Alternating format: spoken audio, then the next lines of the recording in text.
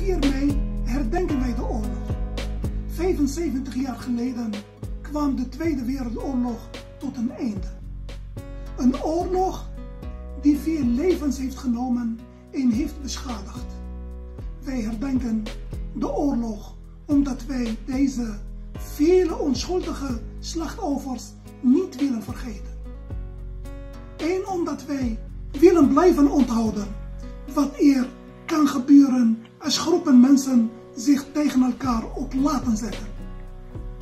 Daar moeten wij voor blijven waken, altijd, iedere dag.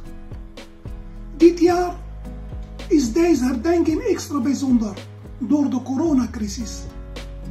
Wij komen dit jaar niet samen op de kleine, maar zijn in gedachten samen. We hebben als samenleving laten zien dat wij samen sterk kunnen staan. Door thuis te blijven, in ons aan de maatregelen te houden zetten, wij ons in voor de kwetsbaren in deze samenleving.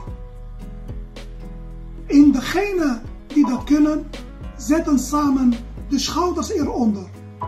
Door te helpen met maaltijden of andere ondersteuning aan elkaar.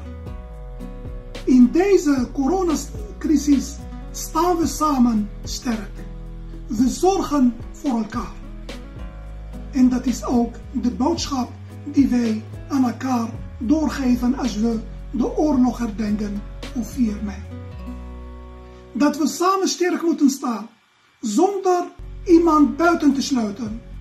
De oorlog herinnert ons eraan wat er kan gebeuren als we in groepen gaan denken, in wij tegen zij.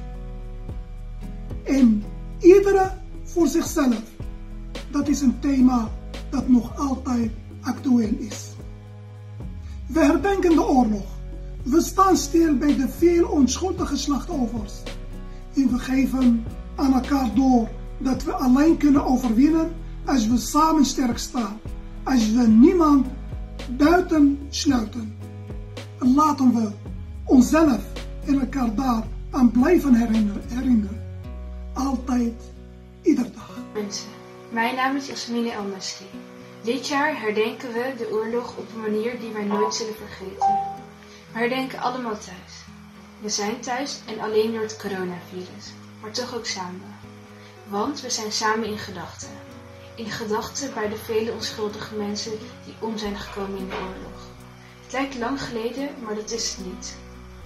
We blijven nu thuis voor de mensen die toen hebben gestreden en voor de mensen die kind waren tijdens deze oorlog. Voor onze opa's en oma's. Juist voor ons, de kinderen en jongeren, is het belangrijk om de oorlog te blijven herdenken. Wij moeten er samen voor zorgen dat wat er toen gebeurde nooit meer mag gebeuren. Daarom is het belangrijk om te weten hoe het toen is gegaan.